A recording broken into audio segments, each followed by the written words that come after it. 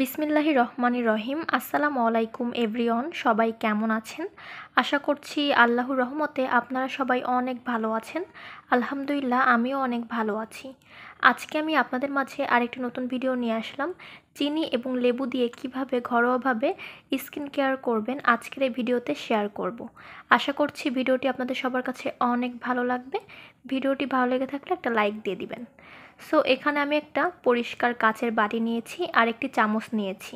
আর এই চামচের এক চামচ আমি মধু নিয়ে নিব।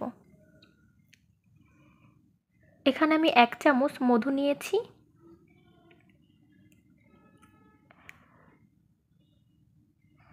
আর এখানে এখন আমি অ্যাড করব চিনি। আর ছোট একটা চামচের এক চামচ আমি চিনি নিয়েছি। চিনি আর এই মধুটা আমি খুব ভালোভাবে মিশিয়ে নিব। যাদের শরীরে এবং মুখে কালচে কালচে দাগ পড়ে গেছে, তারা এই রেমেডিটি ব্যবহার করতে পারেন। মুখের কালো দাগ দূর করবে, মুখে জমে থাকা কালো কালো যত স্পট আছে সব কিছুই দূর করবে, মুখ করে তুলবে উজ্জ্বল এবং ফর্সা। এটি আপনারা প্রতিদিন একবার করে ব্যবহার করুন, তাহলে এটির ফলাফল আপনারা বুঝতে পারবেন। এখন আমি নিয়ে নিয়েছি লেবু।